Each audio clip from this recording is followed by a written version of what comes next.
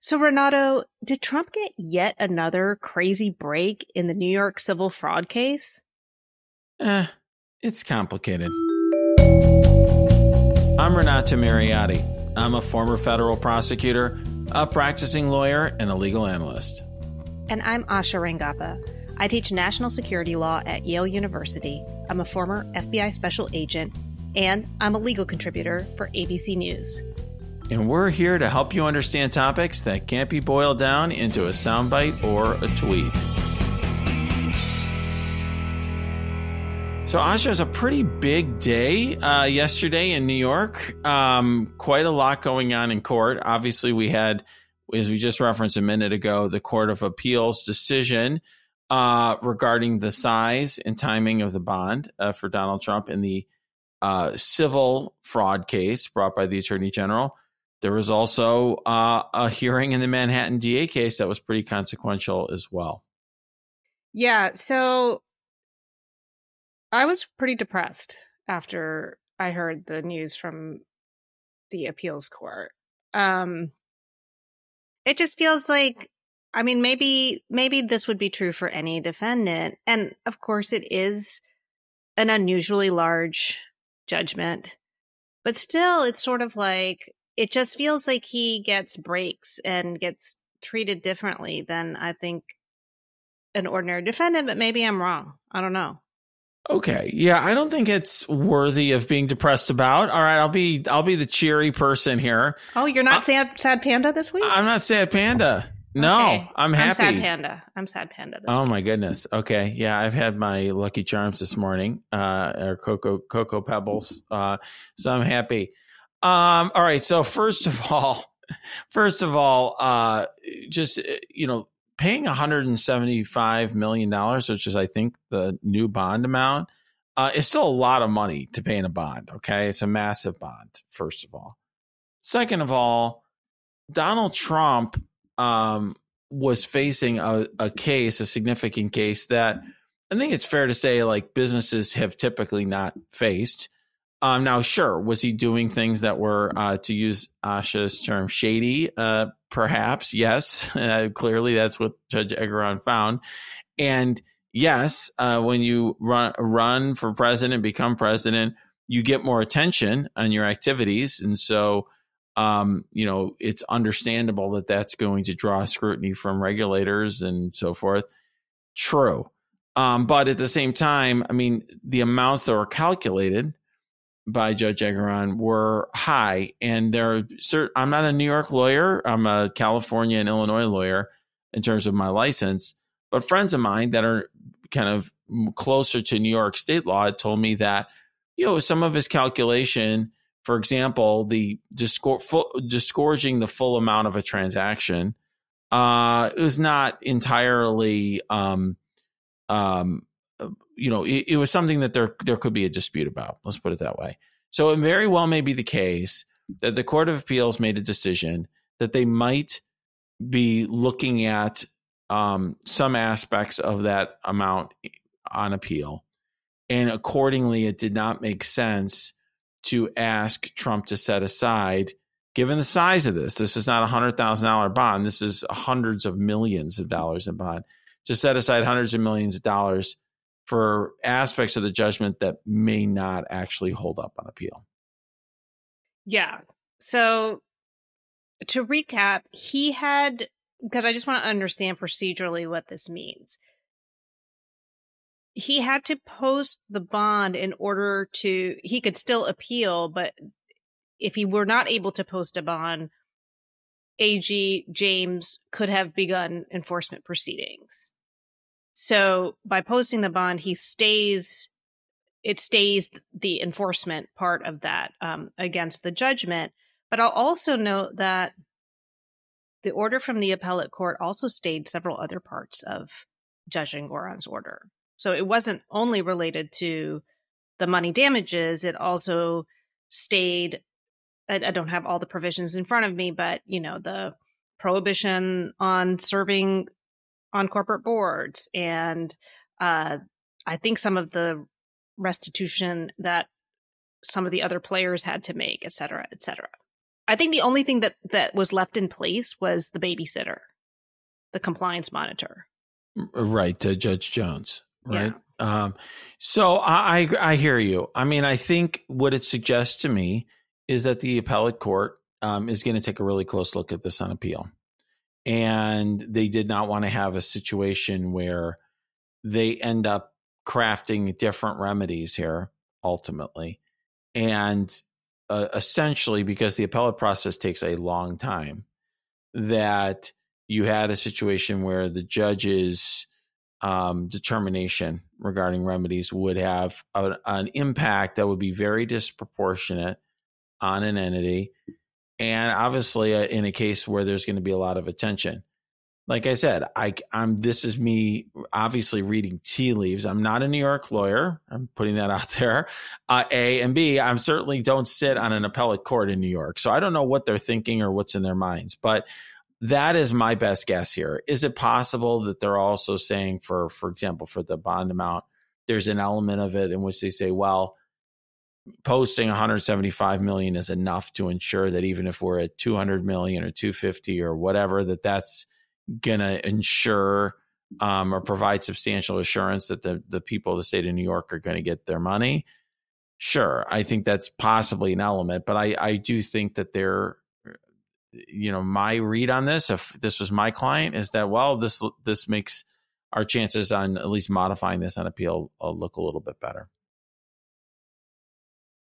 yeah it's just it feels like in every possible forum where there is you know some possibility of accountability something happens well, that I, I, I hear you with that. And this and, and I'm only saying that because I feel like this one has been the one that I have been I think an outlier and saying, hey, you know, I know we're really focused on the criminal cases and they're important and but in, you know, I think personally, realistically, I don't think we're going to ever see Trump in an orange jumpsuit. And so I always thought that you know, holding him financially accountable and hitting him in the pocketbook would actually be possibly more, um, I don't want to say meaningful to him, but I mean, it would, it would I think he, that matters to him, um, more than anything.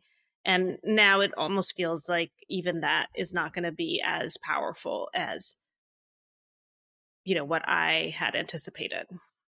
Yeah. I mean, I think for Trump, you know, you, one thing you said is like there's always seems to be something that comes up that helps him out. Some of those things are like totally uh, problematic and blameworthy, and we should get very concerned about or upset about, like some of the stuff we discussed with Judge Cannon last week. Okay, where there's a criminal case for outrageous conduct, clearly unlawful, clearly criminal conduct, and you know, it sure looks like the judge is, you know, making some very uh, certainly questionable, but also it appears some some pro, you know problematic wrongful decisions. In the but in other matters, like you know, we're we're going to talk in a moment about the Manhattan DA's case. I think it's fair to say that case would not have been brought, right, uh, unless it was Donald Trump, and that case, um, you know, he's being treated like whatever, you know, like a, any other defendant, uh, I think would be if they were making accusations about the DA and wanting more time and more discovery. So I, I don't really that, you know, there or in this case, I mean, I don't know exactly what the Court of Appeals is going to say about this, but I, I don't, I, I haven't seen anything about the state court system in New York that makes me think that Donald Trump is getting some amazing break here. Um, the state courts in New York have been, I would say, pretty tough on Donald Trump. Uh, and Judge Engoron, despite a lot of pressure, issued an, an opinion.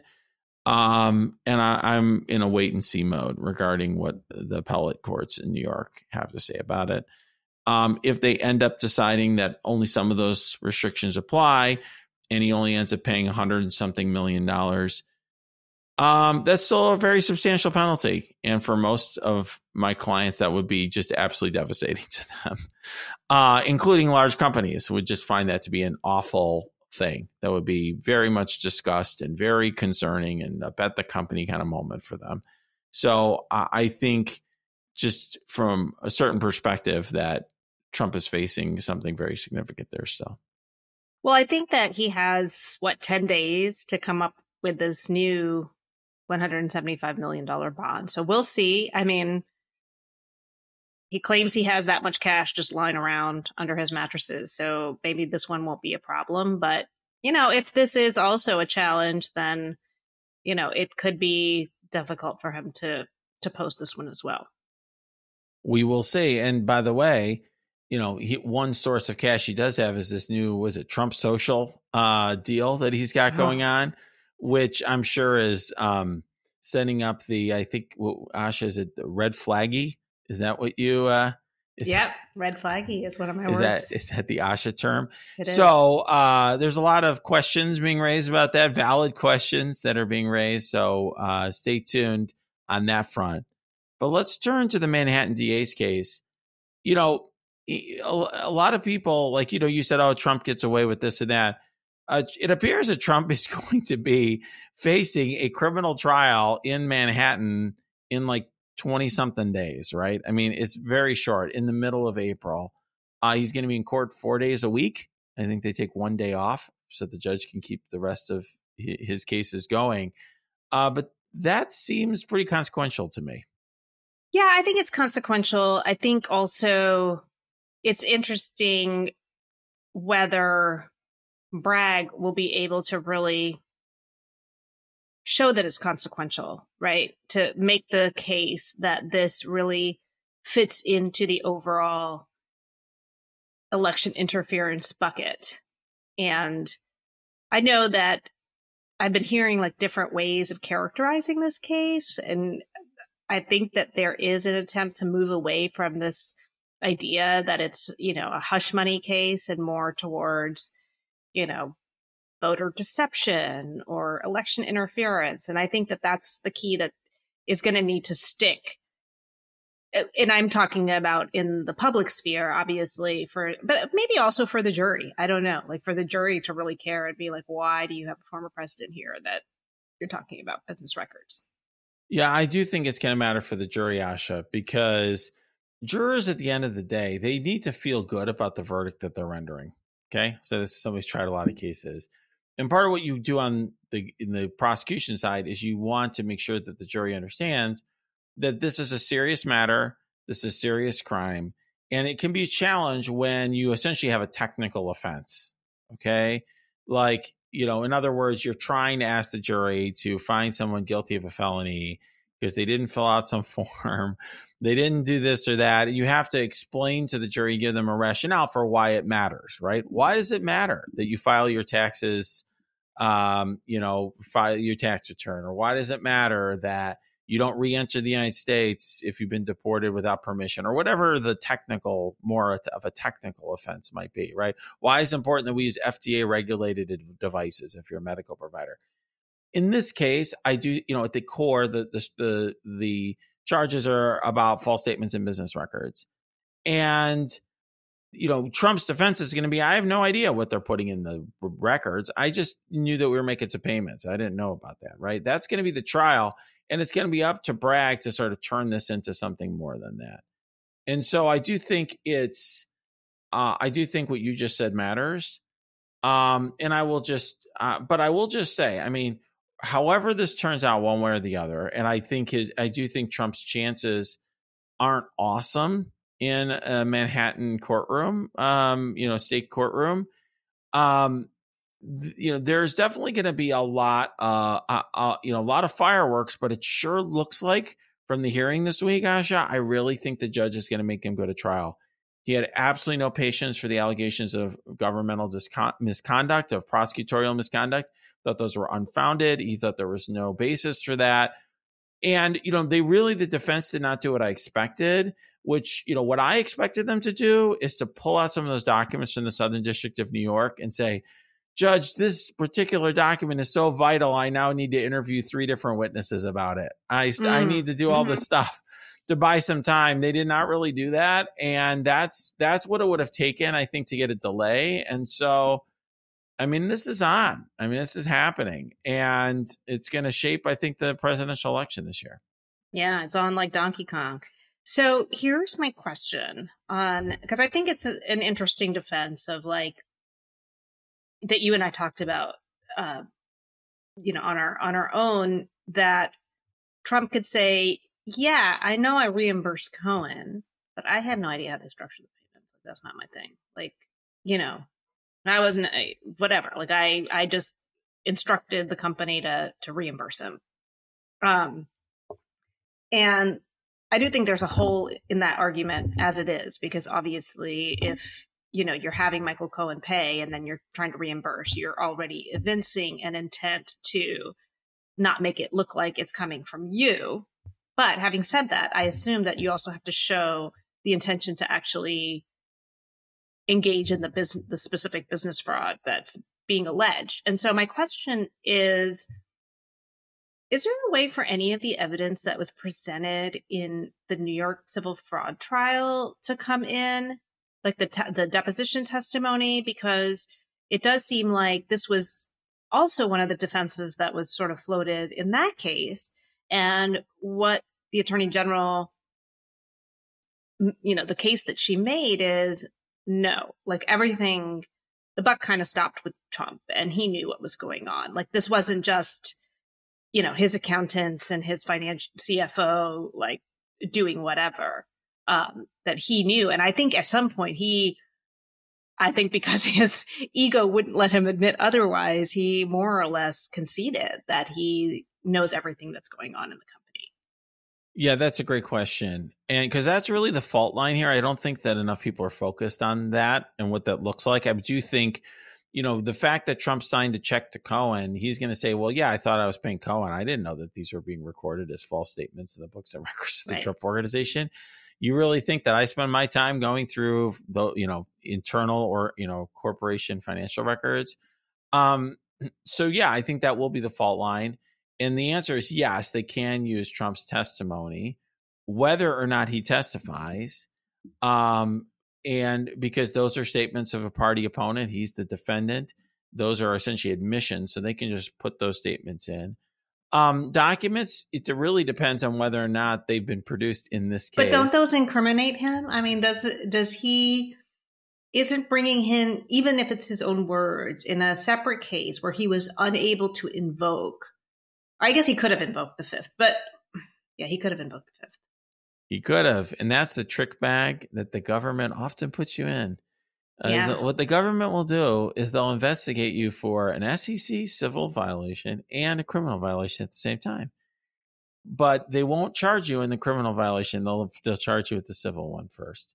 And then you have this you're in this trick bag. Do I plead guilty or excuse me, do I um do I take the fifth?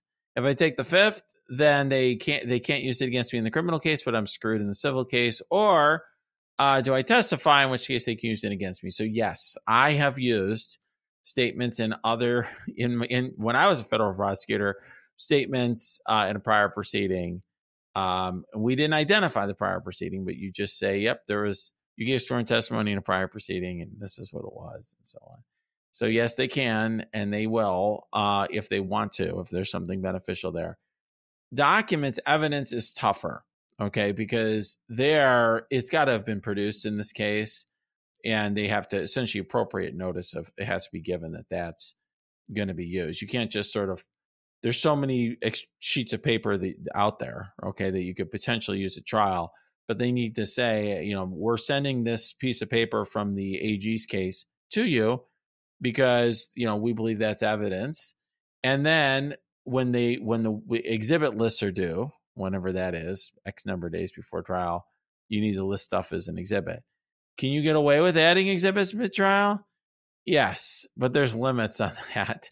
And judges, uh, you know, it's one thing to say, oh, there's one exhibit that came up because of something that occurred in the middle of trial. It's another thing to say, here's 100 exhibits or here's 50 exhibits. So you have to, you pretty much, the, the idea is that the defense is on, on notice and understands what the case is against them which of course, by the way, is what they're complaining about now. They're claiming that all of the, or they claim this week, right, that all the federal uh, production of documents was uh, unfair.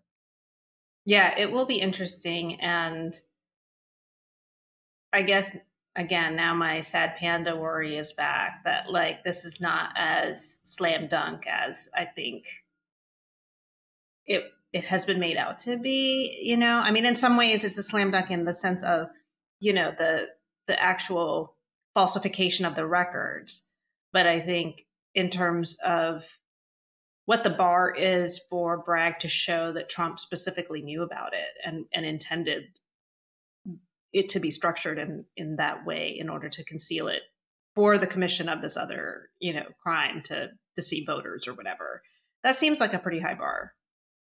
Yeah, I I I think we've all you and I have always believed that this was the weakest of the criminal cases that Trump faced. Um, I think that it's there's definitely challenges in ter- that the Manhattan DA has in terms of proving this one up. I do think that they'll meet that burden. I mean, I think there's sufficient evidence on that, and like I said, the um, jurisdiction helps them on this. In my opinion, I think you always consider the jury pool. I don't think a Manhattan jury overall will be um, beneficial to Trump. That said, you only need one person on the jury uh, who really likes Trump uh, to potentially hang the jury. So, does he have a chance? Yes. Does spending six weeks in the middle of a general election campaign in a in a Manhattan courtroom uh, benefit him? I'm not. I don't know. I'm not a political analyst, uh, but I assume it doesn't. Uh, it's a safe assumption, I think. Um, and so it's going to be consequential one way or the other. And I think it will be something that all of us will be talking a lot more about in the weeks to come. So, Asha, today we had another big development, a, a development that actually is going to impact the lives of millions of people across the United States. Um, and this was the Supreme Court oral argument over mif- over mifepristone, uh, what people call the abortion pill. Um, it seemed like, at a high level, the justices were skeptical um, about this effort to restrict access. Yeah, I was only following the oral argument on Twitter by the people who were actually listening to it, but I did have to prep the case for to talk about with with ABC.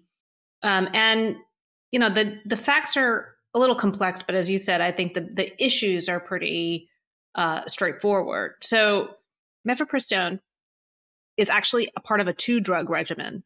Um, it's not the morning after pill. It's a it's a separate um, prescription drug that essentially uh, it, it induces an abortion. And what's going on here is that in 2000, the FDA approved mifepristone uh, for this use. Um, life goes on. Then in 2016, the FDA, under something called the Risk Evaluation and Mitigation Strategies, REMS, the FDA allowed mifepristone to be used up to 10 weeks into a pregnancy, uh, up from seven weeks, which is what it originally was. Then in 2021, uh, during COVID, the FDA relaxed some some other like under the REMS procedures, I guess, also relaxed restrictions that required in-person visits uh, and to, in order to obtain this prescription. So because of telehealth, uh, you know, people were allowed to, um, you know, get visit their doctor not in person, and then also have it um, have it mailed to them. Um, so they didn't have to have it dispensed in person either.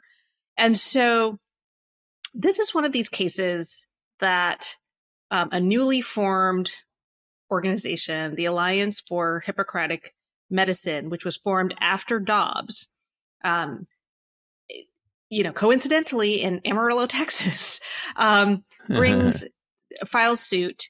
Um, it lands in front of a particular judge, Judge Kacsmaryk, um, who is known to be very conservative, anti-abortion. Um, I think we've had several other cases that have landed in front of him that have gone up. It's sort of this feeder judge, though. There's now been some procedural changes that might change that. Th- that's right. I mean, this is something we discussed and we discussed I think this with I think with Steve Vladeck, who's been a guest yes. on our podcast before, where he, essentially if you file a case in a particular jurisdiction like Amarillo, Texas, you can be sure of which judge you get just based on the number of judges in these sort of more remote or less populated locations. And so um, people there's judge shopping going on and it's becoming a bit of an issue. Yeah, let's come back to that at the end because I think the judicial conference is trying to take some some action on that. But in any case, he gets this and basically he says I won't go through the whole initial thing, but basically he says the FDA got it wrong in 2000. Um, you know, this this should never have been approved. This is harmful. I guess he I don't know, put on some lab coat and became a doctor um, and decided this. And then he also uh, accepted the plaintiff's claims that this was a dangerous drug and said that these expansions that took place in 2016 and 2020 were also um, not valid. And basically, the his original claim that you know this shouldn't have been approved um, was th- that had the statute of limitations. I think had exceed has run in order to challenge that. So that's not what is at issue here. What's at issue are these other changes that were made in 2016, 2021 that basically expanded the access and allows this to be uh, attained through the mail. And this is really key because, um, you know, the mail order prescriptions account for the majority of abortions nationwide. And so through a bunch of different procedural, you know, uh, stages. This has reached the Supreme Court. And basically, there were two big issues that the court was concerned with. So the first is standing.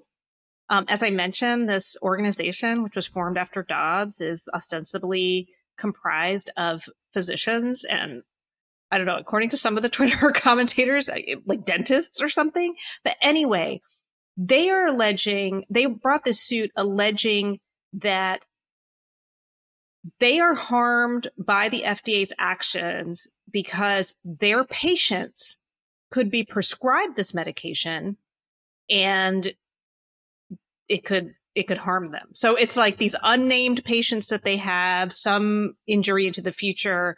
And we can talk a little bit about span, standing and injury and speculative harms, but that's like one issue.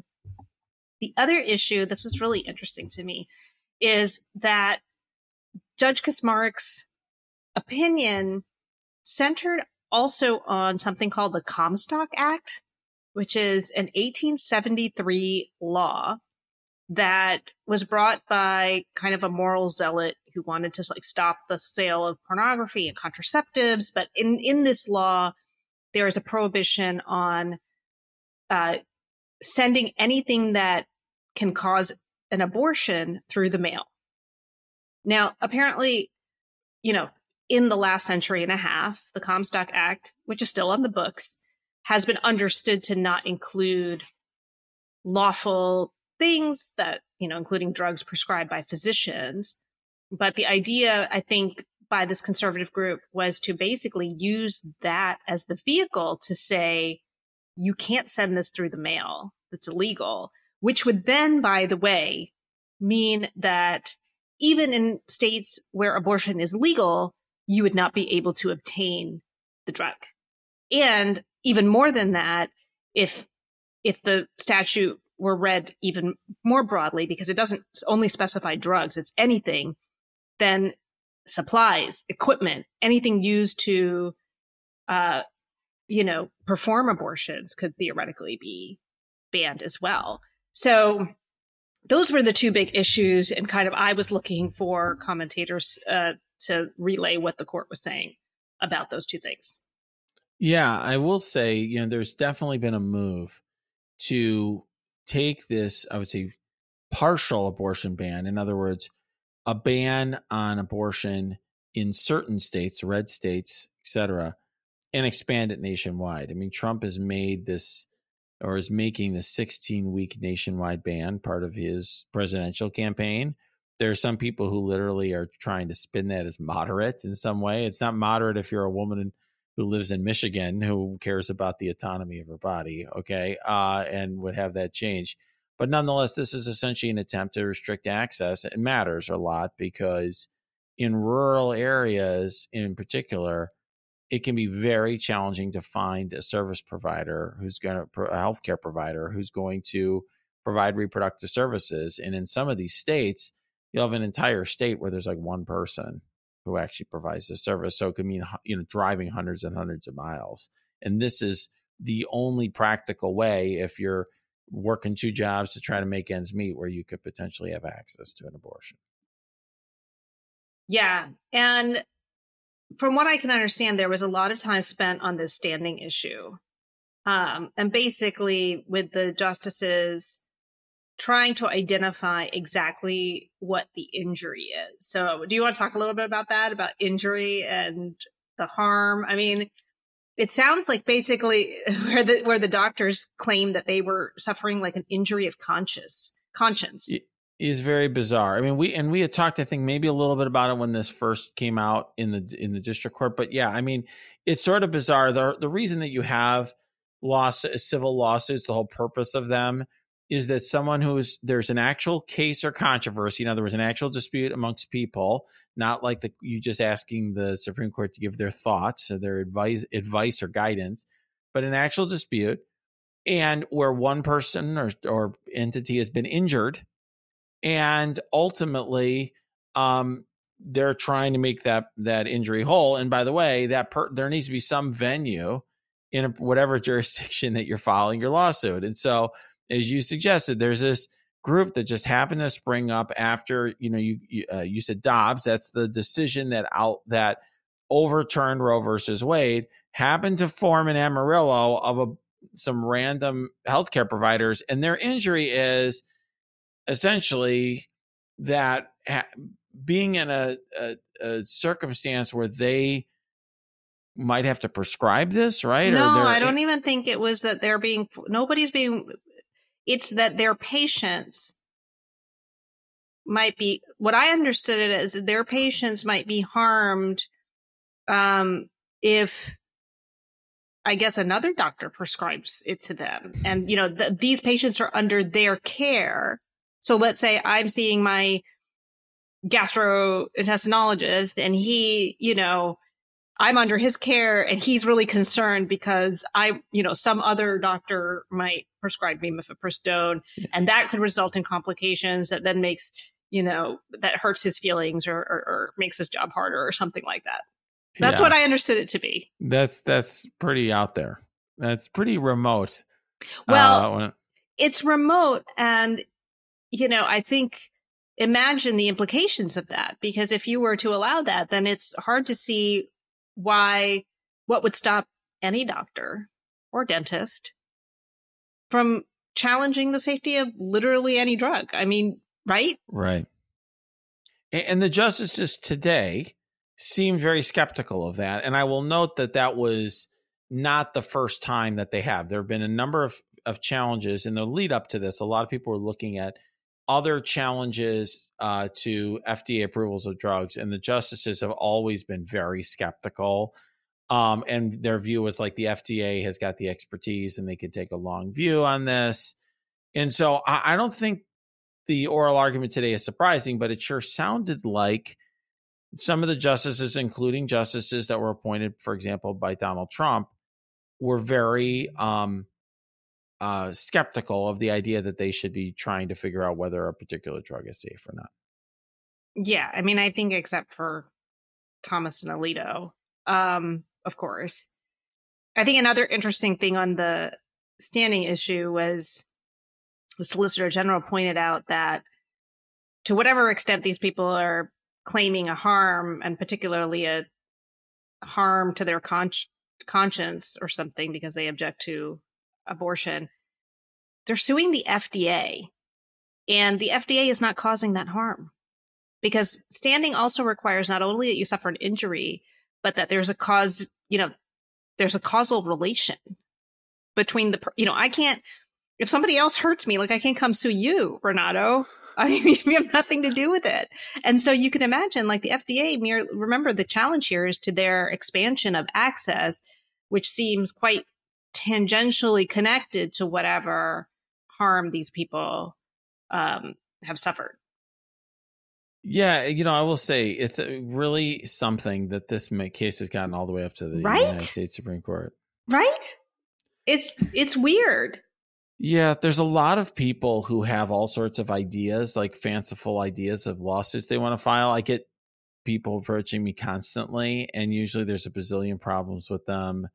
Uh, and it's interesting here. They not only brought the lawsuit and got funding, by the way, to bring. I mean, they're paying. They got yeah. fancy lawyers to bring this lawsuit, and then uh, they they got a district judge to go along with this. The Fifth Circuit uh, has not I you know has has you know gotten us to this point now here they didn't put a stop to it uh here we are in the united states supreme court well renato it looks like by the way that the judicial conference which is the body that oversees procedure and you know the way that cases work in the federal court system have caught on to this whole judge shopping scam and in early March, I think they they made some changes to how cases are assigned. So even if you're a newly formed group in Amarillo, Texas, where there's one judge and you decide to bring a, a case, I think now it's uh, maybe like th- there's a broad, bigger pool of judges to whom it could be randomly assigned. So it could still go to the Amarillo judge, but it doesn't de facto. And then you're taking a risk because it could go to a a very different judge than than you really want, um, who could issue a bench slap to your kook pot claim. So yeah, that seems like a good change. Look, we have eh, judges, eh, federal judges are very busy. They've got a lot on their plate. We don't want to have litigants overloading one particular judge in order to obtain a result. Like it's just from a pure management perspective, you can see why the courts are taking a look at this because you don't want litigants to be picking their judge. The whole point is that judges the judge assignment is random essentially so that this way everyone gets um you know not only get everyone gets a fair uh hearing in front of a judge but also uh, the work is spread out evenly amongst the many many hundreds of judges throughout the country. So, Renato, before we go, last week I made some key disclosures about my past that may or may not come up if I ever go for a Senate confirmation hearing. Oh, but you said at the end, you said your high school life was was very different than mine, and I said we should talk about it this week. So, what you got for me? Okay. Uh, well, when I was in high school, uh, first of all, I looked very different. I weighed almost 300 pounds at the time. I had glasses. I was like nerdy. Uh, I just, that was just my whole vibe at that time. I was the captain of the debate team. I was editor in my school newspaper. Uh, very into that. Captain of the Scholastic Bowl team. I mean, that is about as nerdy as it gets, I think. Uh, I was on the math team for a year or two, and they were like too nerdy for me. Like I just couldn't. Uh, I so I didn't really get that invested in that. But I was like, so I was pretty nerdy. And was the math uh, team you know, like? Were they like all Indian kids? Uh, there's a lot of. I was definitely, but th- yes, I was definitely. That's fair to say. I mean, in my uh, yes, a lot of a lot of South and East Asia. I was just curious because I was the only Indian person in my high school, so I. Oh really? Mm-hmm. So where I grew up, there's lots and lots of because there's a lot of engine like a, a, lot of engineering folks uh, in the area, like because there's a lot of um, technology companies that were that were headquartered here. Bell, there's a Bell Labs um, uh, um, headquarters or something that was here. So we had a lot of uh, a lot of South and East Asian folks. So they yeah. were they were basically I was one of the only white dudes in the uh, Oh, in the math interesting. team. Oh, wow. Yeah, I Yeah. tried to get my kids to join the math team. My son refused, but I forced my daughter to do it. So I got dragged into it. Like you really should. Your your scores fit, and I was just like, I did it uh, like one year or something, and like I just. But that is like that when it's new, too nerdy for me in high school. Like that's really saying something. But you have to call yourself a mathlete. Oh my god.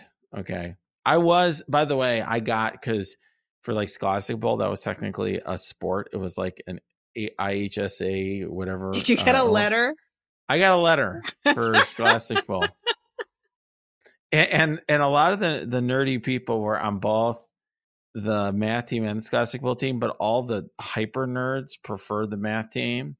And so like when we had like a regional championship one year, I was just me and like one other person, and we couldn't even field the full team for Scholastic Bowl. And I would just like buzz in immediately to give the other side no time to come up with their answers because I was just like, well, it's just me. There's no discussion. There's no, we're just just jumping in every time and guessing. Um, and so it worked. Uh, but in any event, um, yeah. So like that was sort of my high school experience. My and I like. I Did you go to with, prom? real- I did go to prom with a friend, not with somebody I was dating. My parents were also like super conservative, like evangelical Christian types, and so like Oh, there was that's right. that whole element too. Yeah. yeah it was very very uh different. Um so i was not a uh, you're you were a cheerleader. I was not like at all cool. I was not having fun and sneaking around and so then college was like so it was very different right? College was like an experience where i actually got to whatever get out there and do stuff uh a little bit more than high school Did you go wild in college? I didn't go wild, which is why I was able to go to law school and do all of that stuff. I but I got le- I got less nerdy, maybe more normal, sort of. For University of Chicago, I got normal for University of Chicago because like the entire student body got more nerdy, and I got a little less, so I kind of fit into the mainstream. Whereas oh, is Chicago ner- like a nerdy school? That's not how I think about it. it was at the time and Oh. so at the time the the the motto like they sold these t-shirts at university of chicago at the time that said university of chicago where fun goes to die um that was their tagline and they were very proud of themselves there's like a list of top party schools like they ranked all the schools based on partying and like university of chicago was 300 out of 300 like the like the Oh my last place. god. So there would also were t-shirts where you could get that. And like that was so at the time that was a point of pride. And when I was there, the school was very concerned because they were slipping in the US news, whatever rankings. And so they were making all these adjustments to get like normal, charismatic, fun students there. And when I went back to be the mock trial coach years later, when I was a federal prosecutor, the students were like way different. They were like way more charismatic and fun and attractive. And like, I'm like, who are these people? They're not University of Chicago students. Uh, so it was definitely a, a shift. Interesting. So then you became cool. I don't know when that happened. And that may have been when I was a, I, I don't think I became, I don't think I ever really became cool. I'm, I'm still kind of, I'm You're still kind of lame, right? No, you're cool. Okay. I'll take it. You're officially cool. Thank you. Do you think Trump made you cool? Because you like it like you ended up talking on TV? I one thing I will say is like I was somebody who really transformed in the years that I was a federal prosecutor. Mm, Like that job changed my entire personality. I mm. became much more aggressive, more hardline. I really I had a lot of stuff go on during that time, like brushes with death and all of this. And so I was Mm. like it got much harder as a person during that time. I also got in great shape and just kind of came, became more of an adult during that time. So that was like huge for me. Like if you saw me when I was a young associate at a law firm, I was kind of like the nerdy guy writing everyone's briefs. Uh, you know what I mean? I was like the guy writing the appellate brief, and then it changed at some point in time. Now I don't write I don't write briefs anymore. I'm mm-hmm. totally know. seeing your biopic now. Like the transformation that happens. I, I would would Jonah Hill pay, pay me my younger years, maybe? Maybe. Early and, Jonah Hill. Now he's like he's slimmed down and in great shape, right? Right. And then who? Like Ben Affleck. Okay. I'll take that's great. Uh, can I get Batman Ben Affleck? Ben yeah. Affleck, I think, looked the best when he's Batman. Yeah, I mean, I, I think he's always cute, actually. But oh wow, Okay. Well, yeah. so does J Lo agrees. Yes.